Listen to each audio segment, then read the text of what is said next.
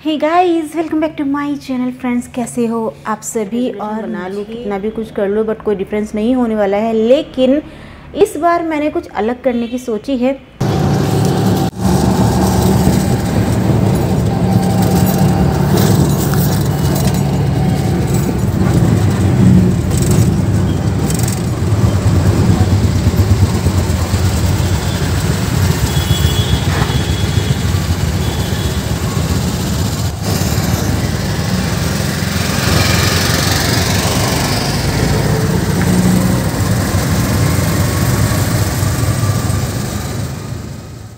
सो so, मैं पहुँच गई हूँ अपने मेट्रो स्टेशन के पास और यहाँ का नज़ारा मैं आपको दिखा रही हूँ। ये हम ऑटो से जा रहे हैं और उतर कर मैं पैदल मेट्रो स्टेशन की तरफ़ आ रही हूँ। ऑटो से मैं उतर चुकी हूँ। अभी जो मैंने आपको दिखाया था, उस दौरान मैं ऑटो के अंदर थी और वहीं का मैं आपको दिखा रही थी। ये मैं यहाँ से अब पैदल ऊपर की तरफ़ जाऊँगी। ऊपर की तरफ़ है मेट्रो स्टेशन जो है तो ये है एक्सीटर और इस एक्सीटर से काफ़ी लोग गुज़र रहे हैं।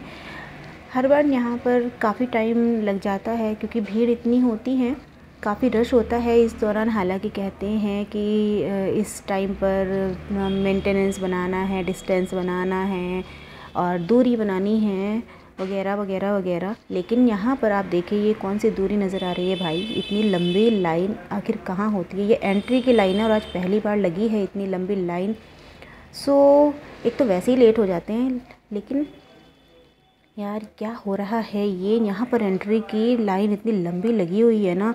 बाई गॉड देख कर ना इसको गुस्सा भी आ रहा है।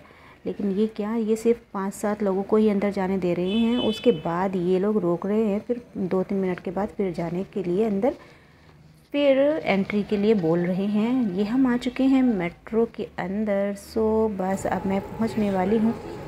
ऑलमोस्ट मैं पहुँच ही गई हूँ। तो बस अब हम मिलते हैं face to face so guys नए रेजोल्यूशन पर हम बात करेंगे आज, क्योंकि आने वाला है हैप्पी न्यू ईयर और आप सभी को एडवांस में सभी को happy new year hey guys कैसे हो आप सभी? आई होप आप सभी बहुत अच्छे होंगे और कमेंट में मुझे लिखकर ज़रूर बताना कि आप सब क्या क्या कर रहे हो? क्योंकि नया साल आ रहा है। सो so, आपका कोई नया रेजोल्यूशन बना है कि नहीं बना है या क्या करने वाले हो आप इस साल या अगले साल? क्योंकि अगले साल आने में बहुत ज़्यादा टाइम नहीं बचा है। तो नया रेजोल्यूशन बनाया कि नहीं बनाया और पिछले साल आपने कौन सा रेजोल्यूशन बनाया था? मैं जहाँ तक अपनी बात कहूँ तो मैंने ऐसा कोई पर्टिकुलर रेजोल्यूशन अपना नहीं बनाया था।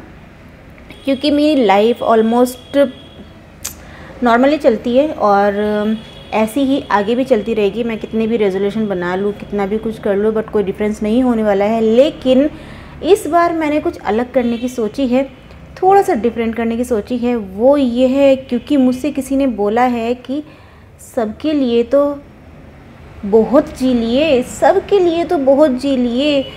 कुछ दिन अपने लिए जी के देखो साकिब, फिर देखना कैसा फील होता है।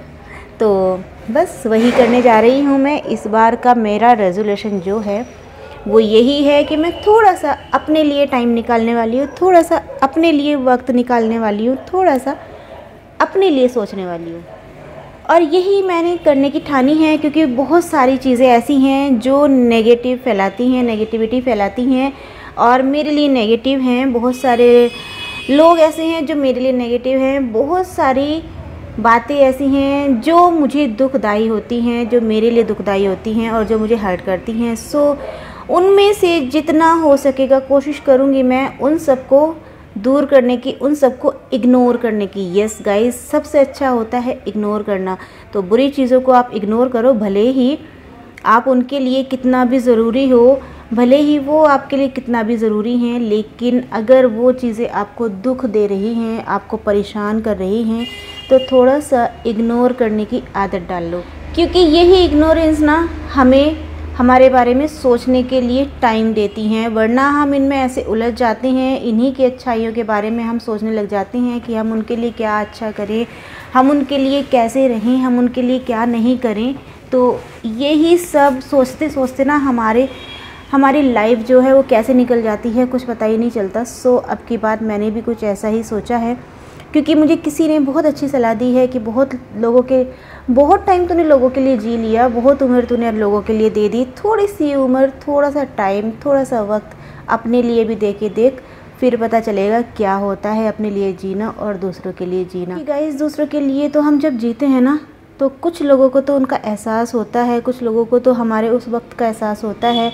हमारी कद्र होती है, लेकिन बहुत सारे लोग ऐसे हैं आज भी जो हमारे अपने तो हैं, हमारे सगे तो हैं, लेकिन उनको हमारे दिए गए बलिदान की कोई कद्र नहीं है और जिसके पीछे हम अपना जी जान लगा देते हैं। हर तरह से हम उनके लिए अच्छा करने की कोशिश करते हैं।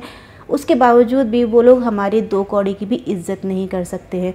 सो ऐसे लोगों के लिए क्या करना है यार? ये बताओ ना, क्यों जीना है ऐसे लोगों के लिए जो तुम्हारी बिल्कुल भी इज़्ज़त ना कर सके, जो तुम्हें दो बोल प्यार के ना बोल सके?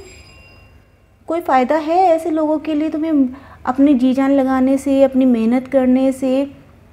क्या फ़ायदा मिलता है? कोई फ़ायदा नहीं है। ये बात अलग है कि फ़ायदे नुकसान के लिए रिश्ते नहीं बनते। रिश्ते तो दिलों से होते हैं, लेकिन एक बात बताओ, जहाँ दिलों का भी रिश्ता नहीं है, सिर्फ़ समझौते का रिश्ता है तो उस रिश्ते को क्यों निभाना है? सो so गाइस कुछ ऐसा ही रेजोल्यूशन आप भी बनाओ। मैंने बनाया है, देखती हूँ कहाँ तक फॉलो कर पाती हूँ, क्योंकि बहुत सारी चीज़ें इसमें अड़ंगा डालने वाली हैं। बहुत लोगों को इग्नोर करने वाली हूँ, बहुत लोगों को दूर करने वाली हूँ, और काफ़ी कुछ ऐसा है जो मैं कुछ चेंज करने वाली हूँ सिर्फ़ अपने लिए देखने वाली हूँ अपने लिए सोचने वाली हूँ थोड़ा वक्त अपने लिए भी निकालने वाली हूँ। सो so, आप भी बताइएगा मुझे आपका रेजोल्यूशन है क्या?